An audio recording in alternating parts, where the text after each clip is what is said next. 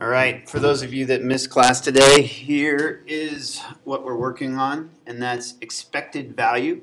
Um, I, I shared a document with you that uh, you can follow along with and take some notes. Um, but basically, expected value is uh, given a situation where you have a couple of, you have uh, either you make it or you don't make it outcome, how many times will it take to finally hit that outcome? Okay. Um, so here's the first situation. Imagine you're sitting on the rapids bank of a rushing river, and salmon are attempting to swim upstream. They must jump out of the water and pass the rapids. I'll let you finish reading it. Uh, what's the probability that the salmon will make it on the second attempt? Note uh, what. Note the situation requires that two conditions be met. The salmon fails on the first jump and succeeds on the second jump. Let's draw a tree diagram with the probabilities each situation, assuming that the salmon makes it, the path is done. So, in other words, we've got our first tree. The fish makes tries the first time, right? He has a 0.35% chance of making it. Okay. Then, uh, and he has a 0.65 chance of failing. Then he's got another jump, or she, and he has a probability of making 0.35 on the second jump, 0.65 on of not making it. Okay. Now, uh, so making the probability of making on the first jump is easy, right? That's just 0.35. Okay. The probability of making of failing on the first jump and making on the second jump is just the multiplication of those two. Um, hold on.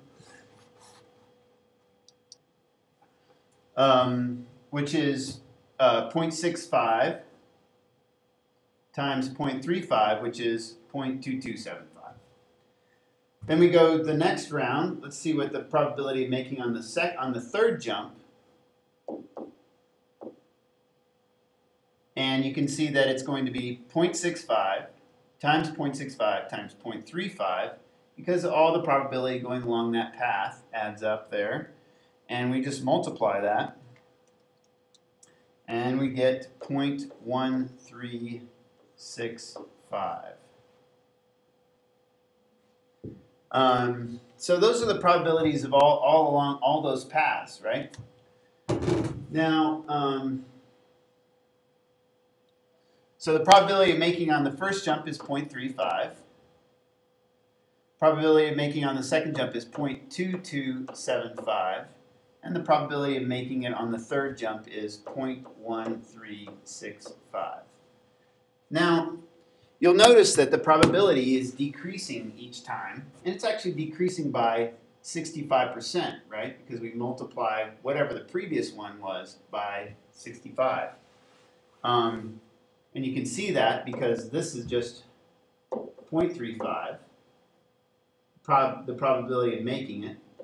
This one is 0.35 times 0.65.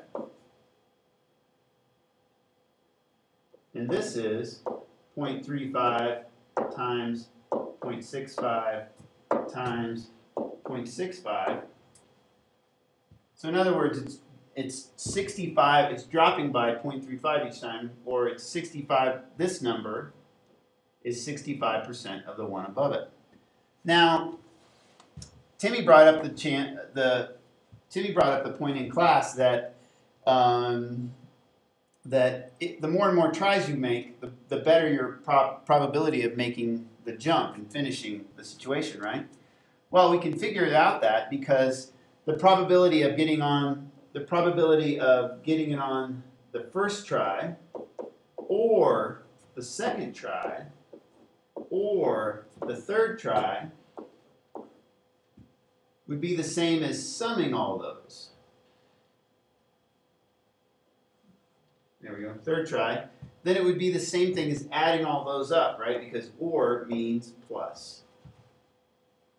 And when we add all those up, we get when we add all those up, we get 0.714. So they pretty much get it by their by the third jump, okay? And you can see that every time we're going to keep increasing that. Okay. Now, um, so let's go to the next page and let's look at a new situation. Um, now, so imagine that you're playing a board game and in which you must roll a four on your die before taking your first turn. Okay. Now, uh, I we we did a lot of spreadsheet work, and I will share that spreadsheet with you.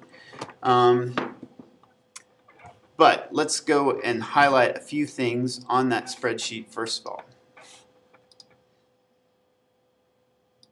So this data here is in this column A is all of the, we physically rolled a die and see how long it took us roll to roll a four. So for example, this cell here, it took two tries and I got a four. This one, it took 21 tries. Now you look down here, we did 51 tries total, okay? And we found the average number of trials to be six, um, which is nice and convenient, okay? And so that was data that we actually gathered. So here's one where it's it took 19 tries to roll a four, and this one, here's one where we got it on the first try. So, uh, so going back to our um, sheet here, um, we gathered all this data, so it's on the spreadsheet. Okay. Um, based on that experiment, it took six trials, or it took on average six trials. Okay. Now, to calculate the results more theoretically, imagine a perfect sequence of rolls in which the results look like this 1, 2, 3, 4, 5, 6, 1, 2, 3, 4, 5, 6, and so on. Now, you'll notice that get from one 4 to the next, it takes six rolls.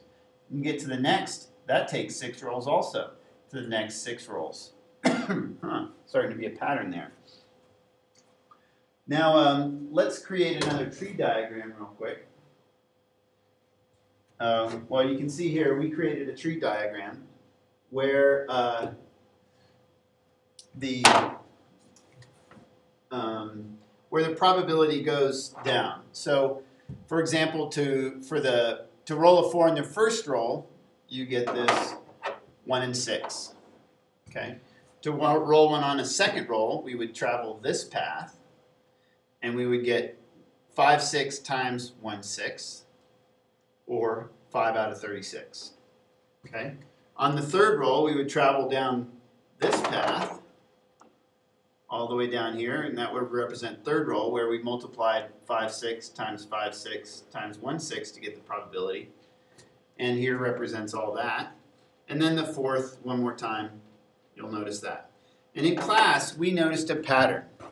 So you might take a second and kind of copy down that tree diagram, pause the video. Um, and then we'll move on to the next page.